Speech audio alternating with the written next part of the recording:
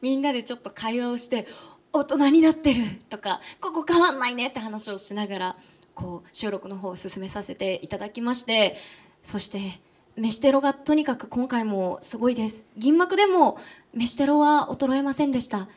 すごい、はい。ライブビューイングだって。どこ見たらライブビューイングになります？赤い赤い。真ん中あたりかな皆さん。真ん中あたりだと思います。どうもありがとうございます、はい。ありがとうございます楽しんでってください。はい、ではですね早速なんですけれども、はい。あの今ご来場いただいている皆様ライブビューイング会場も含めてですけれども、えー、と先ほど「イルキャンの」えー、と第1話から第5話までご覧いただいたという感じでございます。はい、第5話。恥ずかしいですよね。なんか嬉しい恥ずかしいみたいな。嬉しい恥ずかしい、はい、懐かしい、そうですね。シリーズ最初の作品になるんですけれども、まあ、第1作目、まあ、改めて、えー第1作目の中で見てほしいシーンとか印象的なシーンなどをお聞かせいただければと思うんですけれども。今だってもうみんな空つながるところ見ちゃったんでしょそうなんつながると思うはい。あそこです。そこそこ。です。そそこです。終わっちゃう終わっちゃう終わっちゃう終わっちゃう。どこどこがいいどこがいいかな？まあでもせっかくならクリキャンだったらね。ねみんな揃ってキャンプ。確かに。えでクリキャンのとこ見てないんですまだ今日はクリキャン見てないんです。今日は。今日は1から5話までしか見れないんです。とはい。でも皆さんね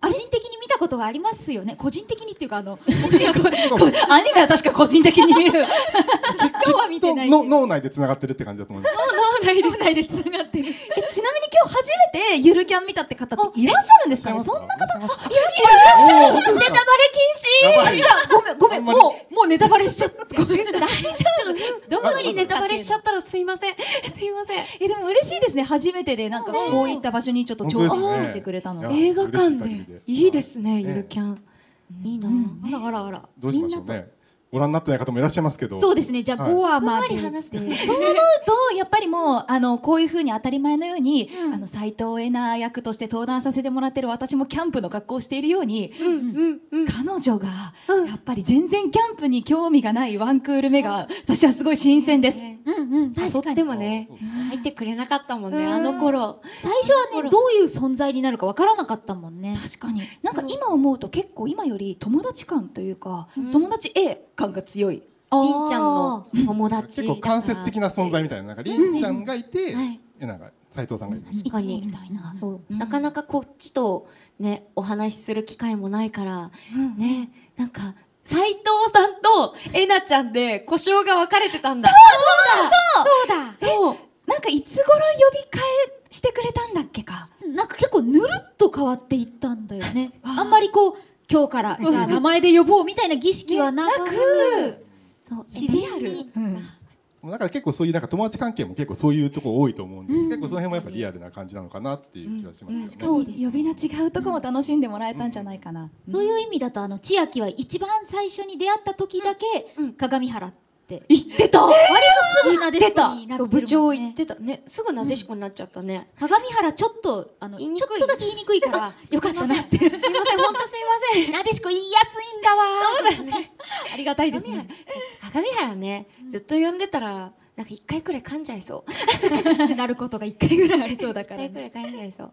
そんな感じで。確かに人間関係性がまだこうお互いに測りかねてる。それこそ5話でようやくりんちゃんとなでしこがうん。ちょっと氷溶けたかなくらいのうんうんねうん。ところで歩み寄りを始めてるんですけれど。そう思うとまだ彼女たちも初々しかったんだね。その先々でね、もうちょっとあのまあ一応配慮しますと。優しい部 あのねちょっとあのりんちゃんと千秋が、うん。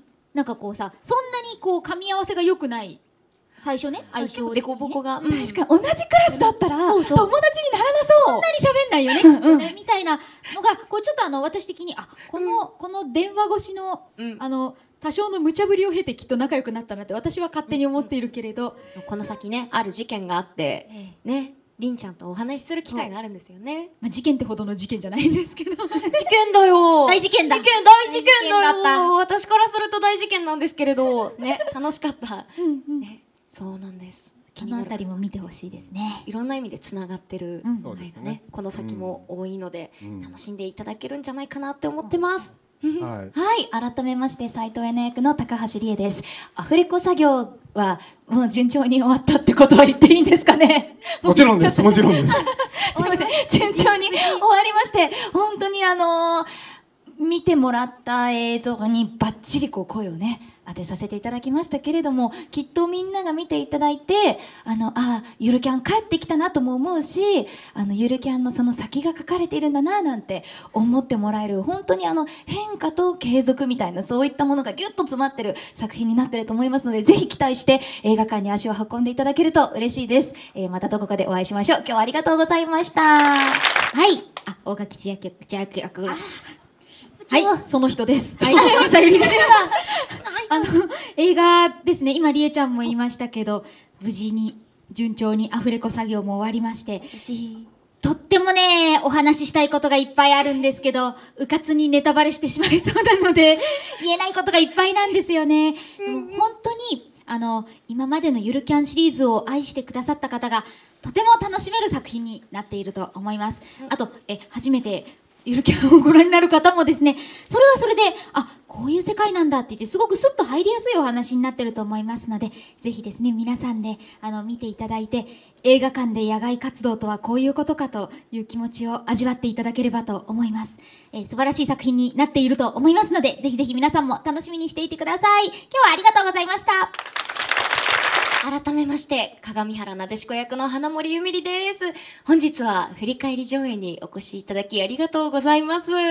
本当に今回の映画撮り終わるまでこうまあ、パートごとにお声の方を取らせていただいたんですけれどこう撮り終わるごとに彼女たちの成長だったり変わらないところを見てちょっと一回深呼吸をしようって言ってそう終わるたびにねみんなでちょっと会話をして大人になってる。とかここ変わんないねって話をしながらこう収録の方を進めさせていただきましてそして飯テロがとにかく今回もすごいです。銀幕でも飯テロは衰えませんでした。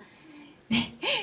えそうここから声の方つけさせていただいたんであのそれこそ完成した絵とか音楽が合わさった時に映画館でどんなゆるキャンが見れるのかっていうのは私たちもまだね完成は見れてないので7月1日が楽しみで楽しみで こちらとしてもワクワクとドキドキとなんかこうどんな風になんか皆さんに受け取ってもらえるかなっていう期待がいっぱいありましてでもきっとこうシーズンあ違う無印シーズン2ヘアキャン見ていただいた皆さんも原作読んでくださった皆さんにも喜んでこう見てもらえる映画になっているんじゃないかなと思っております。ぜひぜひ映画の方も見に来てください。ありがとうございました。